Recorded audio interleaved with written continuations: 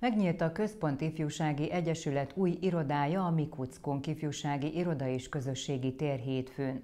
A Miskolc Városi Diák Önkormányzat számos programot tervez majd az irodába. A Mikuckó célja, hogy helyet biztosítson a fiatalok és az Egyesület számára a tevékenységeik hatékony folytatásához és programjaik szervezéséhez a városban. Saját kézlenyomatuk festésével nyitották meg a Miskolcvárosi Önkormányzat diákjai a Központi Ifjúsági Egyesület új irodáját. A Mikuckunk Ifjúsági Iroda és Közösségi Tér hétfőn nyitotta meg kapuit a Miskolc Pláza első emeletén. Maga ez a tér, a mostani, amit megnyitunk, a Mikuckunk Ifjúsági Iroda és Közösségi Tér, ez egy nagyon kellemes és nagyon régi partnerségnek is köszönhető, hiszen a Miskolc egyik bevásárlóközpontjával és az őt működtető céggel már nagyon régi és nagyon szoros a kapcsolat. Nyíregyházán, Szolnokon és Debrecenben is hasonló irodákat működtetünk, illetve működtettünk.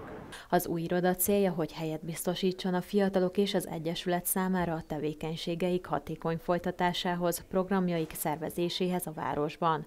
Fűtő Bence János, a Miskolc városi diák önkormányzat diák polgármestere szerint az iroda megnyitása mérföldkő a diák önkormányzat életében. A Midök ugyanis számos programot tervez majd a közösségi helyszínre akár egy vitaklub, egy vitaesemény, amikor vitázni lehet megtanulni ilyen amatőr szinten, akár pedig egy ilyen kézműves foglalkozás, akár egy mozi, mozi esemény, akár egy Valentin napi esemény, akár bármilyen ilyen esemény, amivel tényleg a diákot összébb lehet hozni, egy csapatépítő, akár vezetőségikre, mert a diák önkormányzat tart vezetőségiket, és ezeknek is kiváló helyszínt fog ezt tudni biztosítani.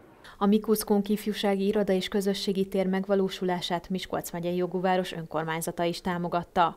Verespál beszédében kiemelte, régi törekvés volt, hogy legyen egy olyan hely, ahol össze lehet ülni, ahol van egy találkozási pont a fiatalok számára. Mi annak idején, mikor elkezdtünk dolgozni itt a városvezetésében, azt mondtuk, hogy lesznek fontos pontok. Például, hogy a, a fiatalságot úgy bevonni, az ifjúságot a városvezetésébe, hogy valóban a vélemények becsatornázódjanak, illetve is el tudjuk mondani, hogy mit akarunk. És hogyha ezek a szándékok és akaratok egyesülnek, akkor minden rendben van. A tervek szerint a Mikuckunk ifjúsági iroda és közösségi tér hétfőtől péntekig 10 órától 18 óráig várja majd a diákokat és szülőket egyaránt.